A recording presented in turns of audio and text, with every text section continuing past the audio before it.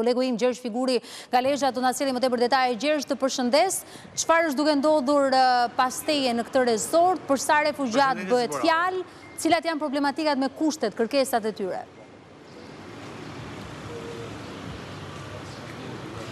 Në fakt bëhet fjalë vetëm për një grup afganesh rreth 320 që kanë janë në një prej resorteve të Shëngjinit dhe se Ditët e fundit ka patur një zhvillim të ri, pasi organizata e cila merret me trajtimin e tyre kishte kërkuar që të gjendeshin disa shtëpi të tjera për t'i akomoduar, sepse në fakt që prej janarit ato nuk kanë bërë asnjë pagesë ndaj rezortit ku ndodhen, ndaj dhe për të minimizuar kostot e tyre po synojnë alternativat e tjera. Mirëpo nga ana Tjetër, vetë afganët të cilët tashmë janë të strehuar këtu, flasin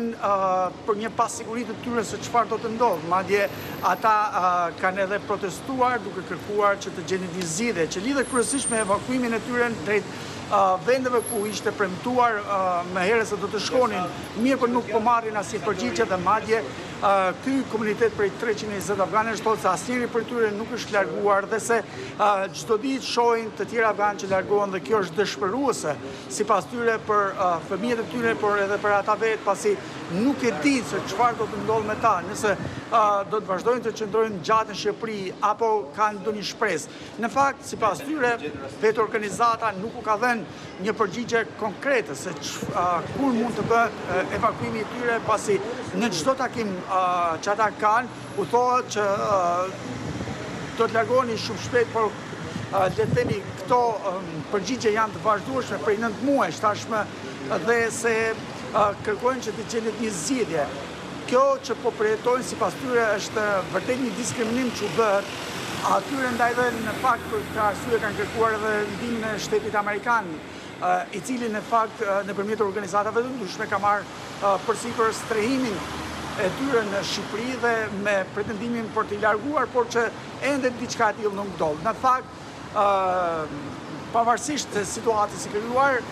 vetë drejtuesit e rezortit kanë cituar se asnjë prej afganëve nuk do të largohet forcërisht, le ta themi, nga ky resort, pavarësisht situatës së krijuar, që është me një mospagesë të konsiderueshme të një shume të madhe parash prej muajit janar, por që po. Jo, për ta sqaruar pak edhe për ta përmbledhur, janë refugjatët afganë që kërkojnë largimin nga rezorti dhe nga Shqipëria, apo ja është rezorti në fjalë duke qënë se kemi sezonin turistik para që kërkon një zgjidhje edhe pse ka deklaruar që nuk do t'i nxjerrë me dhunë, por që të gjendet një zgjidhje alternative nga përfaqësuesit e organizatës. Në fakt nuk është kërkuar që të gjendet një zgjidhje sa i përket largimit të tyre. Janë vetë refugjatët afganë që duan të ikin në fakt nga Shqipëria dhe të evakuohen ashtu siç ishte premtuar. Nga ana tjetër, organizata tashmë ka hyrë në negociata për të gjetur një zgjidhje për mundësinë e pagesave, duket se në këtë Negociatë është përfshirë dhe qeveria shqiptare e cila po negocion për mënyrën se si do të bëhet pagesa e këtyre debive të krijuara tashmë në mënyrë që ata të vijojnë të qëndrojnë në hotel. Në fakt nuk është konfirmuar deri në këto momente që flasim nga përfaqësuesit e hotelit se do të kërkohet largimi i tyre, por që sigurisht po negociohet për të zgjidhur situatën e krijuar me pagesat që duhet të ishin kryer në mënyrë që të vijojnë të qëndrojnë në hotel dhe për këtë po presin edhe përgjigjet qoftë nga vetë organizata por edhe nga qeveria shqiptare. Nga ana tjetër, duhet theksuar që vetë organizata duket se ka qenë e interesuar për t'i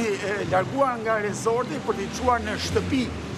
banimi, kjo me qëllimin e vetëm për të minimizuar kostot dhe për t'u paguar një shumë të për të mbijetuar aty ku do të akomodohen rishtasi, por që sigurisht mbetet për t'u parë, ndërkohë nuk mungojnë rastet e refugjatëve afganë që kanë gjetur ndonjë shtëpi dhe tashmë po jetojnë jo brenda rezortit, por në shtëpi të tjera, por që ka qenë me vullnetin e tyre të lirë. Gjergj, për ta kapur pak që në gjenezë të gjithë këtë histori dhe ndoshta problematikën, momentin që është vendosur, ka pasur një marrëveshje mes kësaj organizate dhe rezortit në fjalë, për t'i strehuar këta 320 refugjatë afganë. Për sa kohë ka qënë e përcaktuar fillimisht do qëndronin në këtë rezort?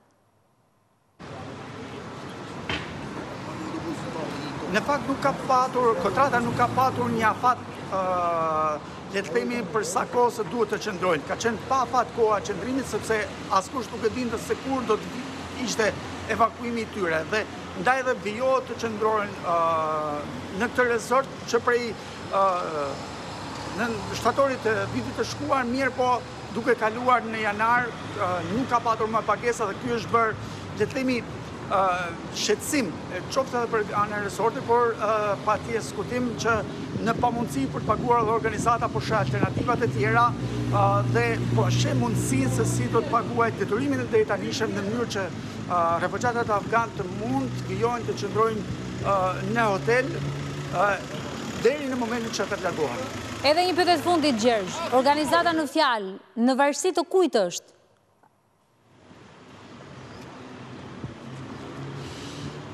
Kjo është, le të themi, problematika më e madhe sepse organizata është një organizatë amerikane, por që Nuk dihet nëse ka një marrëveshje me qeverinë amerikane për akomodimin e tyre dhe për pagesat, pasi vetë organizata nuk ka dalur të shpjegojë situatën apo të sqarojë se çfarë ka ndodhur dhe çfarë do të ndodhë me këta qytetarë afganë që janë akomoduar për momentin në Shqipëri. Sigurisht, Kjo me pretendimin se po gjenden zgjidhje dhe po kërkohen zgjidhje të mundshme në mënyrë që të vijohet që këta refugjatë të qëndrojnë në rezort dhe të kenë mundësi që në momentin që të evakuohen të kenë të gjithë posibilitetin e tyre, por që në fakt nuk kanë asnjë përgjigje dhe janë ende pa shpresë. Dhe ne le të shpresojmë që do të gjendet një zgjidhje alternative për refugjatët afganë të strehuar në këtë resort në Shëngjin nga palët përkatëse. Gjergj, të përshëndes, faleminderit për raportimin.